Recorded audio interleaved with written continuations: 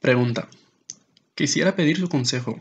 Soy un doctor que ora, que, cree en Allah, que reza cinco veces al día, ayuno Ramadán y me convertí al Islam hace más de cinco años.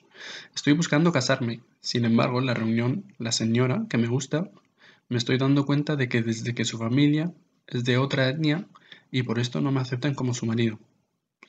Es una práctica de los musulmanes de India, Asia, Pakistán, Bangladesh. Nunca dejan a sus hijos, especialmente las mujeres, contraer matrimonio fuera de sus propias culturas, incluso si la propuesta es de un musulmán practicante. De ahí que el matrimonio no puede tener lugar sobre esta base, dado que la mayoría de los musulmanes practicantes en este país son del, son- son del subcontinente indio. Ahora, tengo dos preguntas. ¿Cómo puede un recién islamizado como yo casarse? ¿Los convertidos solo deberían casarse con convertidas? ¿Hay alguna base para esa separación cultural en el Islam? Respuesta. Alabado sea Allah.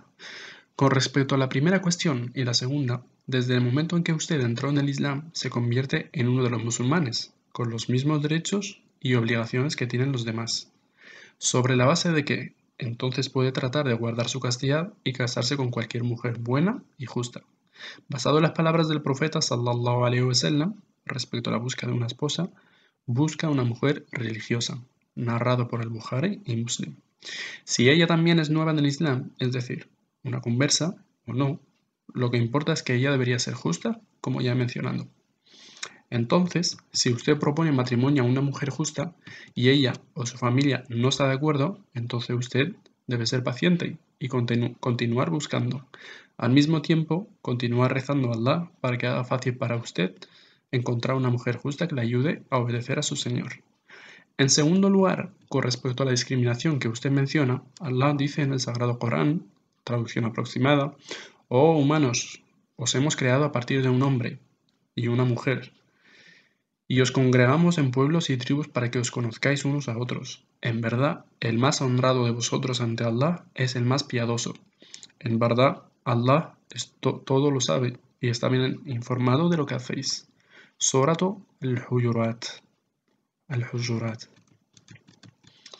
El profeta sallallahu alaihi dijo: Oh ustedes que creen, en verdad tu Señor es uno y su Padre es uno. No hay superioridad de un árabe sobre un no árabe, o de un no árabe sobre un árabe, de un blanco sobre un negro, o de un negro sobre un blanco, salvo en términos de taqwa, o piedad. ¿He transmitido mensaje? Ellos dijeron, sí. Y el mensajero de Allah, sallallahu alaihi wasallam, trans- ha transmitido el mensaje, narrado por Ahmed y clasificado sahih por al-Albani. Según otro hadith, el profeta sallallahu alaihi wasallam dijo: Los que alardean de sus antepasados deben desistir o serán menos importantes ante Allah que el escarabajo que rueda con el estiércol con la nariz. Allah ha quitado de vosotros la arrogancia de la era pagana y el orgullo por los antepasados, de modo que una persona es un piadoso creyente o un condenado malvado. Todas las personas son hijos de Adán, y Adán fue creado del barro. Narrado por At-Tirmidhi. El escarabajo estiércol es un insecto negro que busca y traslada excrementos.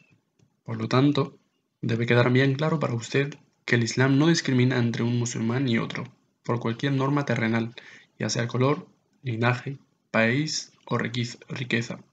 Más bien, el único criterio por que las personas se consideran superiores a otros ante Allah es la taqwa, piedad, conciencia de Allah, la conciencia con Allah.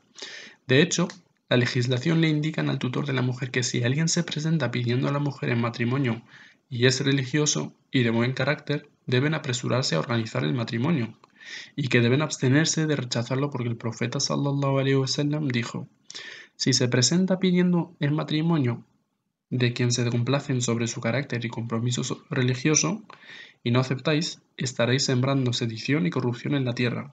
Dijeron: Oh mensajero de Allah, lo que si hay alguna otra objeción, él dijo, si se presenta pidiendo el matrimonio de quien se complacen sobre su carácter y compromiso religioso, acepten. Y lo repitió tres veces.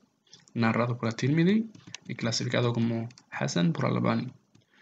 Pedimos a Allah que le haga a usted fácil su casamiento con una mujer y que le ayude a obedecer a su Señor.